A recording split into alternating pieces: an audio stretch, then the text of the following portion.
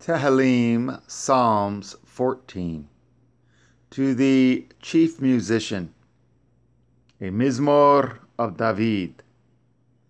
The fool has said in his heart, There is no Elohim.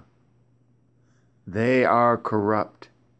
They have done abominable works.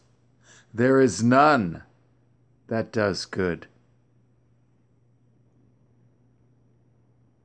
Yahweh looked down from heaven upon the children of men to see if there were any that did understand and seek eth Elohim. They are all gone aside. They are all together become filthy. There is none that does good. No, not one. Have all the workers of iniquity no knowledge, who eat up my people as they eat bread, and call not upon Yahweh? There were they in great fear. For Elohim is in the generation of the righteous.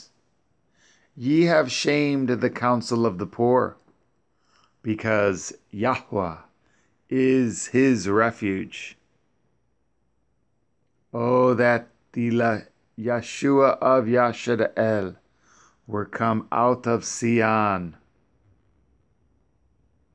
When Yahweh brings back the captivity of his people.